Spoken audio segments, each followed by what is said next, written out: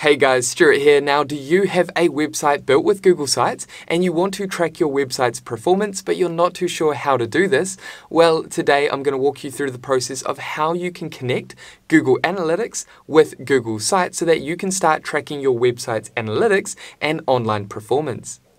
Okay, so before you go ahead and launch into this Google Sites and Google Analytics tutorial, consider subscribing if you haven't done so already, or if you're new to this channel, and that way you'll stay updated with actionable videos and tutorials designed to equip you with the skills, knowledge, and tools to help your small business thrive online. And with that quick note out the way, let's go ahead and dive into Google Analytics.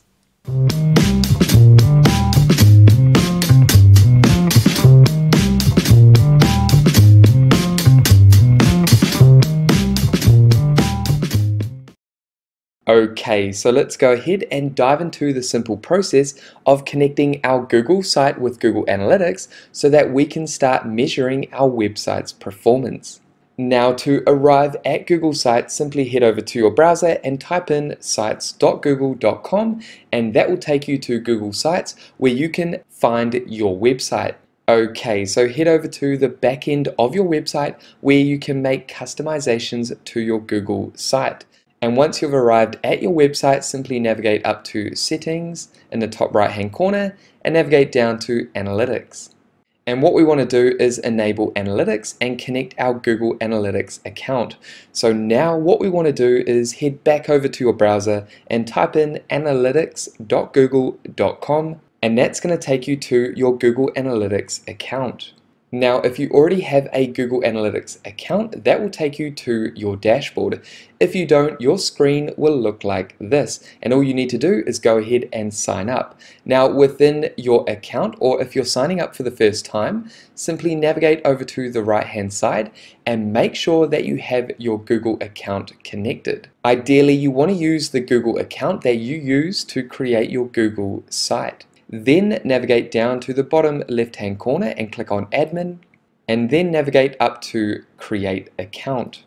Here we want to create our Google Analytics account. So go ahead and add the name of your website or the name of your business. And for the purpose of today's tutorial, we're going to create an account for the business Pat's Pizza Pizza. Then once you've done that, simply navigate down the page and come down and click on next. Then go ahead and add your property name. Again, I'm going to add Pat's Pizza Pizza. Now you can have one account and you can have multiple properties within that account. However, I'm just going to create one account with one property for this particular business. Then you can navigate down to the reporting time zone and depending where your business is based, you want to add the reporting time zone. You also want to add the currency of the country that your website operates in. For example, if your business operates in New Zealand, then you'd add New Zealand dollar.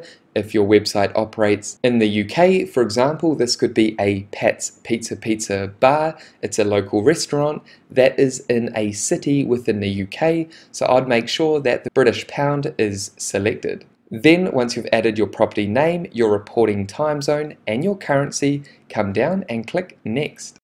Then navigate up to industry category and go ahead and select the category that your business operates in. I'm going to go ahead and select food and drink.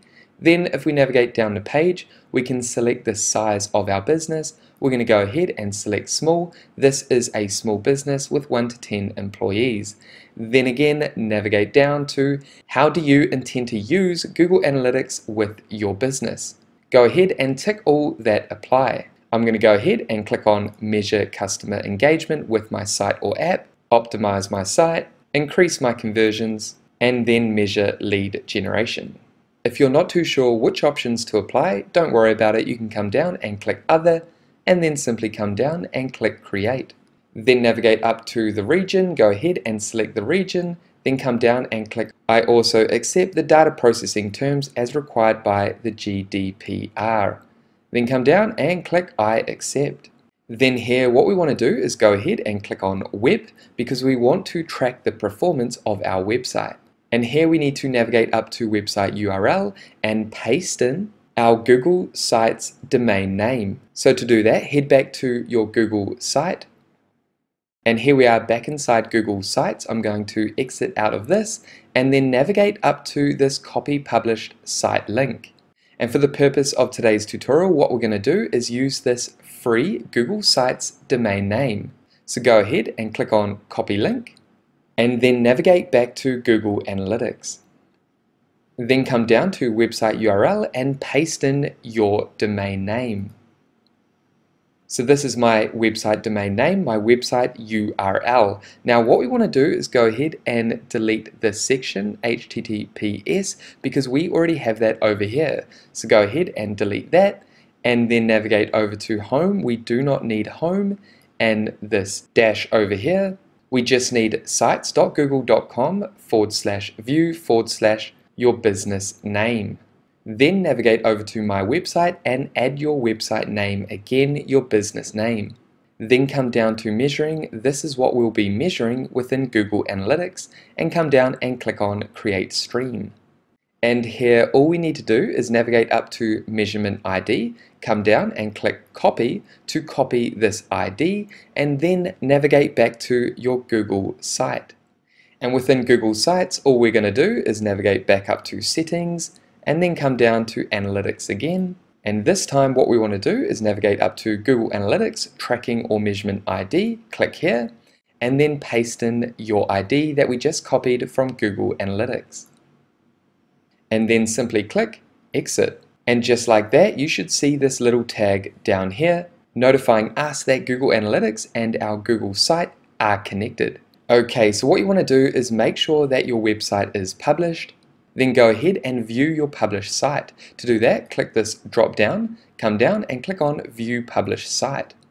Now what we want to do is navigate through our website and what that's going to do is generate data within Google Analytics. This is going to allow us to identify if Google Analytics is now tracking our website's performance with live visitors. Okay, so once you've navigated through your website, simply head back to Google Analytics and then navigate over to exit web stream details and then navigate over to home and you can see your website's data collection is active. It may take 24 hours to appear in your analytics account.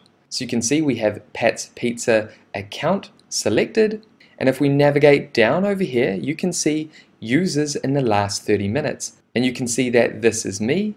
I can also go ahead and click on view real time and that's going to preview real-time information and you can see basic analytics down here about the users in real time.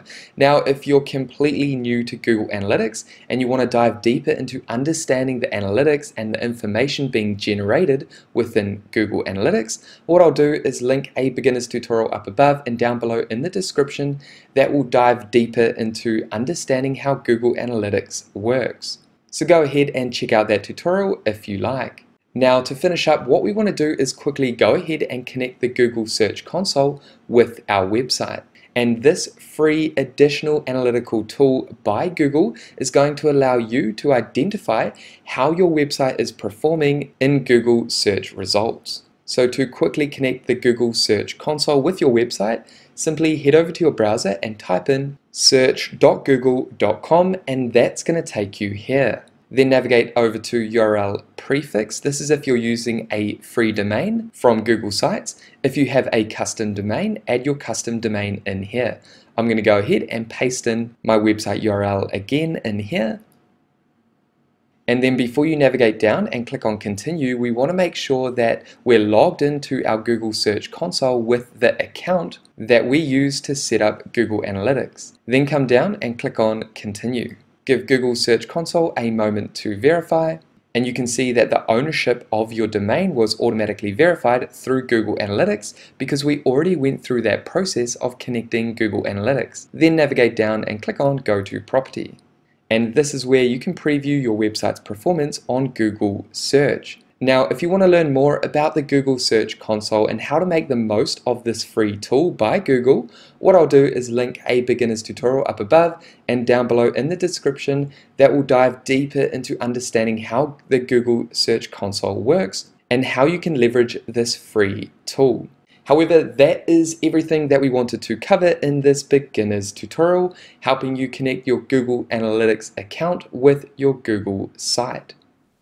And there we have it guys, that is it for this brief tutorial. Now if you have any questions about Google Analytics or Google Sites, make sure to pop them down below. And with that said, thank you so much for watching this tutorial all the way through to the end. If you got value, make sure you leave a like and subscribe to this channel. And that way I'll see you in the next video. Take care guys.